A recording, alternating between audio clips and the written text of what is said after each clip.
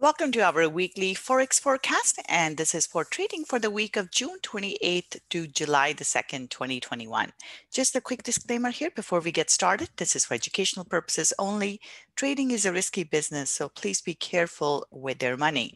As usual, we'll start off by taking a look at our calendar here. So in terms of the news, not as much um, nor not uh, as much high impact news as last week. Uh, but starting off here on Monday, we have Fed members. Um, so some central bankers here. Essentially, for the central bankers, these ones are not as important. However, anytime uh, they're speaking, what we are really looking uh, or paying attention to is what their forward guidance is. Um, and uh, Tuesday here, June 29th, um, again, consumer confidence numbers here uh, will be important for uh, the US here. We are expecting a higher number. So if it's in line with this expectation, that is all good. And we're likely to see the US dollar do well. And on Wednesday, again, not a ton of important stuff here. CPI numbers are important with the CPI, so this is the inflation number, and this is what we have heard a lot of talk about inflation numbers, just because with all the supply of money out there, uh, the problem is when there's so much supply, there's no value um, or we don't have as much value for that that commodity. So money the us uh, or the uh, actually all currencies have lost value because of oversupply there. So and that makes things more expensive and that's what our inflation is. If the inflation keeps going up the central banks will be forced to take action and we saw the fed recently um, cut uh, moved their um, the when they're going to make uh, do the interest rate adjustments they move the timing on that um, sooner. So that's um, that's the problem with the CPI if the inflation keeps going up they'll be forced to take action and that makes the currency prices go up. So this is an important number to pay attention to. ECB hasn't done anything. They haven't said that they're going to make changes at this point. So we will um, we will keep an eye on this um, we do have ADP uh, non-farm employment numbers here on Wednesday as well. So these are precursors to the non-farm farm payroll numbers on um, on the on Friday. So this will be an important number. Uh, this is where we can see the market move. Uh, PMI numbers here, Chicago PMI numbers will be important as, as well. So um, if the number comes in higher than expected, that will be a positive sign for the US.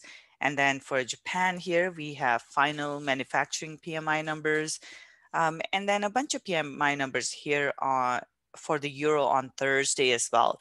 Um, with the PMI numbers, the better the PMI numbers, the better it is for the currency. So we will keep an eye on this. Any um, any numbers higher than expected is likely to have a positive impact on euro here. Um, and then we do have OPEC meetings. So if you're trading Canadian dollar or oil, uh, OPEC um, OPEC meetings can have an impact. And again, when the meetings are going on, um, they will be looking for, the journalists will be looking for comments. So any kind of comments coming out of those meetings generally do impact the market as well. So uh, both Canadian dollar and oil. So Canadian, uh, Canada is a big exporter of oil. That's why Canadian dollar will be impacted as well. On Thursday as well in the New York session, we have PMI numbers for uh, the US as well. Same thing applies here. If the PMI numbers are better than expected, that means that we are expecting better retail sales and all of that is positive uh, for the US dollar here. But we may actually see the stock market move up as a result. So US dollar may not have as much of a positive impact. Um, and then Bank of England here as well uh, same thing, I'm not really expecting much of a change in their stance, but should they start talking more about um, about tightening the monetary policy, that will be positive for the currency. And then we have ECB um, here as well the most important thing for the day here on Friday would be the non-farm payroll numbers. These generally tend to be market moving. So if there, the employment, uh, employment is one of the things that the Fed is concerned about. So if the employment numbers start to go up, that will be a good thing uh, for the US, um, US dollar as well. All right, so let's move on to our charts here. We'll start off with our euro dollar. Uh, last time, last week, we had talked about um, talked about the pullbacks here. And as we can see, price has pulled back here. Um, so in this case, um, we do have a, a move higher, but we have to be careful here. So there may be a little bit more room to to the upside or it can just turn around from here. So right now I am looking for so either something like this. So this support resistance level, as we can see, coming all the way from uh, from April of 2018, this is an important support resistance level here. Uh, price had reacted and before it uh, went through here, same thing, we could see a similar reaction here. It could retest this and then drop from here. So basically I'm looking for a bit of a retest higher, 1.1985, but I'm looking, I'm expecting it to come into some sort of a resistance, uh, face trouble here, and then go back down. So bias here is neutral um, neutral to more on the bearish side, but we just have to look for the reaction at 1.1985. So neutral to bearish bias here. First target is the bottom of the candle here, 1.1850, and then second will be 1.1750. So looking for a bit of a move to the downside. We already have that move started here. So now we had the pullback. So now I'm looking for a continuation to the downside. Okay, so euro dollar, euro, uh, this is neutral to bearish. Pound dollar here, this one as well had the move already right into our resistance level here. Price has dropped since then. And with this, maybe a bit of a move up, but basically looking for a drop. So bias here is neutral to bearish for this one as well. First target will be the base of the candle here, 1.3780. And then second target is 1.3650. So neutral to bearish bias for pound dollar. Aussie dollar here, this one is into resistance as well. However, it could go higher, so watch out for 0.7640 level. But the level it's at currently is a good level as well. And with this, as we can see, going all the way back here, price has reacted at this level. Uh, so maybe a little bit further. Uh, it could go even all the way into 0.7700 as well. So just watch out for that. Um, we have to wait for wait to see if it's done with the pullback or does it want to continue all the way into 0.77. So that's the only thing here. But uh, then I would be looking for a reaction and a potential move lower. Not quite ready yet. So bias at this point is neutral. And I would be waiting to see if it if it goes higher. So Aussie dollar, New Zealand dollar here, similar story here as well. As we can see, price has pulled back as we expected. So that that's good. But now um, it's not quite there. It hasn't uh, started turning around just yet. So in this case, we may get a move higher into 0.7120 and then a drop from there. So that's sort of what I'm looking at here. So in this case, a neutral bias and looking for a reaction to the downside here and target would be 0.6920. So neutral bias for um, New Zealand dollar as well dollar CAD here, this one is also going sideways here. So we saw that initial reaction or the drop that we were looking for. So now um, this as well. So all the commodity currencies here, Aussie, New Zealand, dollar CAD here, all of these here could go a little deeper. And that's what I'm waiting to see whether they will drop or are will they continue. Right now they have not given us an indication that they are ready to turn around just yet. So if you take a look at the daily here it still is still has some bearishness in it. It's showing that um, it's showing a reaction. It doesn't have full momentum like it did back here. So which shows that it may be ready to turn. Uh, we just need to see a nice bullish candle here to to make sure that it has actually turned. So we just need to wait for that. So this is why bias right now is neutral, but basically I'm looking for a similar reaction here, either something like this or we may get a bit of a pop and then a turnaround. So right now, bias is uh, bias is neutral for dollar CAD as well, uh, looking for it to react. Euro pound here, Euro pound has been stuck a little bit in this uh, channel here. Okay, it looks like my chart is, okay, there we go.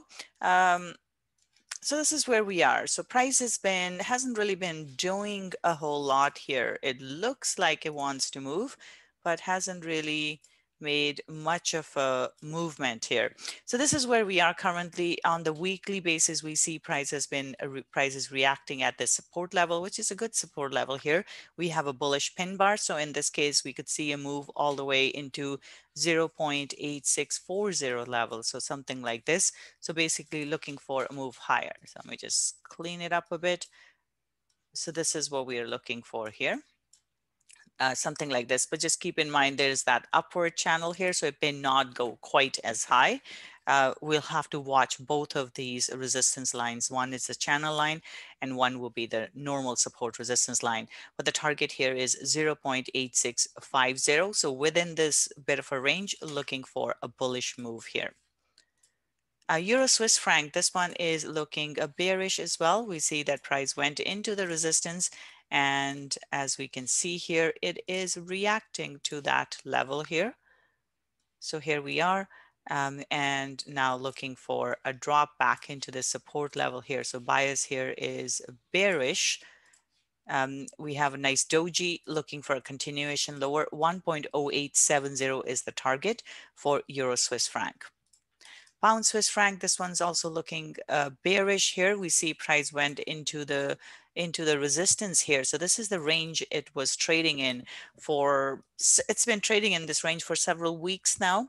And as we can see, went to test the top of the range, did um, did make it through and then we are back in again here nice uh, nice bearish pin bar on this one actually i really like this one so bias is bearish looking for price to drop further here we may see a bit of a pullback here or even into something like this and looking for a drop 1.2600 is the target. So aiming for the bottom of the range essentially. So this is just a classic range bound move here with a nice signal at the top. So it's looking for a drop. Uh, bearish bias 1.2600 is the target. Uh, dollar Swiss franc here, this one is also looking bearish here. Actually, no, this one's not bearish, uh, or we have seen a move down here. Now it's struggling. If we go back to the daily here for a second, as we can see, price had dropped here. So this is where we have to be careful with this. It's at a current support level and it's reacting to that level. If it doesn't go through, then we will look for a move higher. But there's this all this a big inefficient move. We'll have to see if it holds above here, then we're looking for basic continuation higher.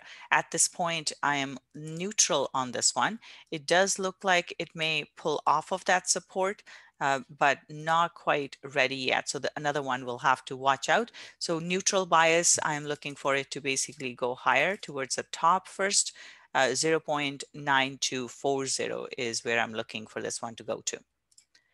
Pound yen here, pound yen also not doing much. It went all the way up. So we had move down and then all the way up. So it's just been sideways. Um, it's been very choppy here. Now we see that price is struggling at the top again, and this is where we are likely to see a drop. But again, we'll have to keep an eye on things here um, it's not quite clear yet, no clear direction with this one. So neutral bias for pound yen. I'm looking for a move back towards uh, one, uh, 152.50 is the first target, and then 151.25 is the second target. Euro yen here, this is struggling. We saw this big drop um, down when Fed announced the, the monetary policy change and then this pullback as we had expected. So now looking for that continuation to the downside. So this is the daily chart as we, this is basically what I'm looking for here.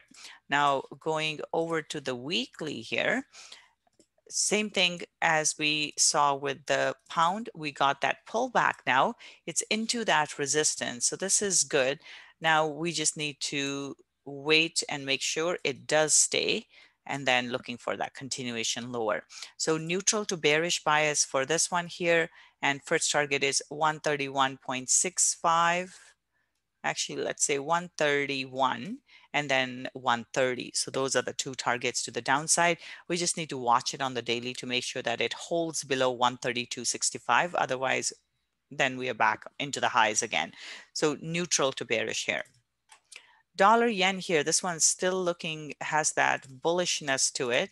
As we can see, still holding on to that uh, upward trend there.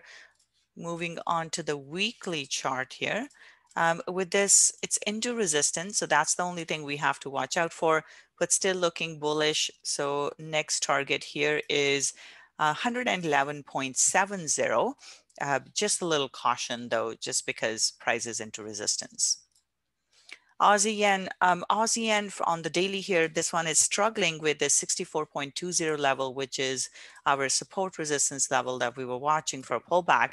And um, now again, it's struggling. It's not quite, um, it's struggling, but it's not quite changing directions yet. So this is why with this one, again, we'll have to be a little patient here. What we are wanting to see is it holds here and then we want to see a drop. But uh, for the time being here, uh, patience will be necessary on the weekly. As we can see, we see this big pullback here and it's right into our resistance level. The problem is the second resistance level is right there as well. And this is where we have to wait and see, does it go here or will it just turn around from here? So right now it's trading in a range. This is the overall range that it's been stuck in. So it could go higher. So neutral bias here, we just need to give it a little bit of time to see if it's going to turn around where it is currently, or it's going to go all the way into 85.40. So it's actually yeah, so it's currently at 84.20. So there is a bit of room here. That's why we just need to be patient. So right now, neutral bias, um, watching 84.20 level. If it holds below, then we are targeting 82.20. New Zealand yen, this is very similar here as well. Both of them have been strong this week. It's reacting for the last two days, um, hasn't really moved very much. However, we don't see a bearish candle yet, not even a small, insignificant one, which means there's still that bullish momentum and it it's not quite um, hasn't quite turned yet. So we just need to wait for it to turn, just a little bit of patience. So this is what I'm looking for basically. Once it holds here, I'm looking for price to come back down uh, back into 77.65 and then lower. So looking at it from the weekly perspective, um, let's take a look as so weekly here, as we can see, it's been pulling back.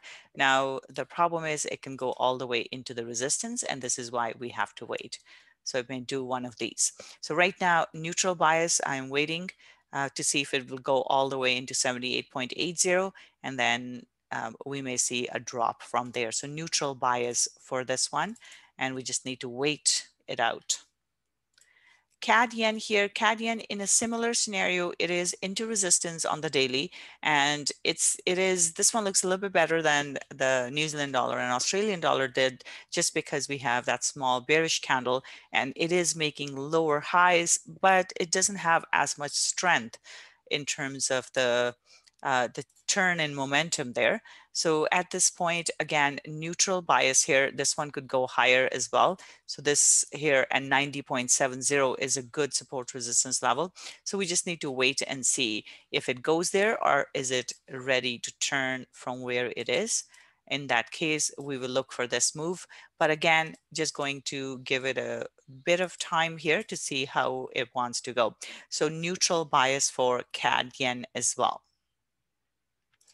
All right, so moving on to our commodities here. So from commodities perspective on the daily chart here, um, these ones, it's struggling. So we had this big inefficient move to the downside, and now can it go back up? So let's take a look. Uh, price has pulled back here. Now it could pull back higher, and this is where it on the daily it didn't look that strong in terms of momentum in either direction. Didn't look very bearish didn't look uh, super uh, bullish either. It was sort of in between trying to make its way higher. So in this case, a neutral bias here still. Now it could turn from where it is, but it could go up a little bit further and uh, move back down. So this is what I'm looking at here, uh, looking for it to, to see if it would go into 26.65 level here. So right now, uh, bias is neutral uh, for our silver here. Uh, gold here. Uh, gold, similar situation here on the daily. It's been going sideways, just like it got stuck in a sideways move here before it went higher with the uh, continuation of the previous trend. We are seeing a similar scenario here. It's just sideways at the moment, no clear direction um, here either. So it pulled back So this is our weekly. And as we can see, it pulled back into this previous support resistance level, which is a good level. And from here, I am looking to see if it will drop here. So neutral um, to slightly bearish bias here. First target would be the first target is 17, 1755. And then we're looking at price to drop further towards 1721. The only thing to watch out here would be the the 1809 level if it gets through this it can go all the way up there and then drop. So just watch out for that. Um, let's say um, so right now a neutral to bearish bias first target is 1755 second target 1721 okay. um, oil here. Oil is looking bullish and with oil though just keep in mind we have those OPEC meetings and those could sometimes cause problems because um, of the disagreements that we may see in there. But right now, looking bullish, 75 is the first target and 76.85 is the second target. Copper here, copper is going sideways. Um, it did go all the way into the resistance and now looks like we may see a drop. It's struggling here though. Um, and going to our weekly, as we can see, there's that pullback that we were expecting. And now this may, it may be time for it to continue lower. So looking for something like this. 4.04 is the target here for copper, so neutral uh, to slightly bearish here as well. Bitcoin here, Bitcoin has been struggling. Uh, so couldn't really so we saw that drop here, initial break that we got there. Now it's holding below. Uh, this is not the current, the current price is 33,156. So 33,150. So it's right over here somewhere, but it's, it's holding in this um, little range, which is bearish. So basically overall it's making lower highs and that is bearish. Next target here is 28,750. So bearish bias for Bitcoin. S&P 500 still looking bullish here, not a huge momentum um, on terms of the in terms of the daily, but still bullish. So 4,300 is the first target, and then 43 and 44. So 4350 to 44 will be the second one there. Nasdaq um, again still has that bullishness. Um, overall neutral to bullish bias here as well. 14,500 is the target for NASDAQ. Dow Jones also looking bullish. And in this case, our target is 34,850. So on the on the weekly here, it's definitely bullish. Um, so 34,850 will be the target to the upside here for Dow Jones as well. And then DAX here is kind of sideways, uh, still trading in that range. We do have that bullish candle close. So this one could go higher all the way into 15,785. So neutral, but overall it's been stuck in this range, uh, this little sideways move for quite some time. So looking for it to go towards the top there. FTSE as well, looking bullish right now. And target here would be 7,200. So bullish bias for FTSE as well. And Nikkei here, Nikkei seems to be struggling. It's sideways here. It did go back up. Now um, we could see a move back towards 29,000 So basically top over here. Uh, so that's what we will watch out for. So 29,275 and 29,500. So bullish bias for Nikkei as well. All right, so there were a couple of questions in um, for Aussie dollar and pound Aussie, pound Aussie. So Australian dollar has done well and pound has not done that great this week. Um, so pound Aussie is likely to be bearish here. Uh, with the pound Aussie though, keep in mind we are very close to the support. So zooming out a bit here, this is where we are. So this is solid support resistance level and it could go lower into 1.8175. So this looks bearish on the daily and on the weekly here. So let's go back in. So this is where we are. So we have a nice solid bearish candle close. Um, however, it has to go through this support resistance level and it's a bit of a zone of support resistance level because it could go essentially it's between so between 1.8250 and 1.8175, this level. So basically bearish here, uh, just with a little bit of caution uh, because it could churn here. So right now I will look for a drop towards a support at 1.8175, then watch out here because this is where we could see that turn. But if it gets through this one, then uh, we're targeting back down here because this, this move will get filled. So we just need to wait. So generally the struggle usually comes here to break through this. Once it breaks though, then that path becomes clear. So bias here is bearish here for pound Aussie and first target would be 1.8175. Then you could go all the way down here. Um, all right, so the other question was in regards to Aussie dollar. Aussie was neutral um, we were waiting for it to, it could pull back slightly higher into 76.65. And from there, so something like this, this is where we have to wait on Aussie uh, because it's not clear, it's not quite ready to turn yet. We just have to give it a little bit of time. So it's uh, it, it is at that level where it could turn from where it is currently, but it could also go slightly higher into this next support resistance level Okay, so overall though, neutral to bearish bias for this one as well. Uh, so question here, um, the ones that are neutral, what are we waiting? So basically, um, so they're neutral because uh, they don't haven't shown us a clear direction yet. So where we look at pound and Aussie, uh, sorry, pound and euro, we actually see bearish candles. The problem with the neutral ones is that they can sometimes pop up before they drop. And that's why we have to wait. So we are waiting. It's just, they're just, you know, not quite ready yet. So it's not anything in particular they're waiting for. Um, it's just, you know, when the market starts to turn, they will turn as well. We just have to give it some time. But there's no any no particular event or anything that uh, will make them change directions. They'll just kind of fall in line. As right now, there is nothing in particular that we have to wait for. All right, you are welcome. Any other questions, you guys, before we wrap it up here?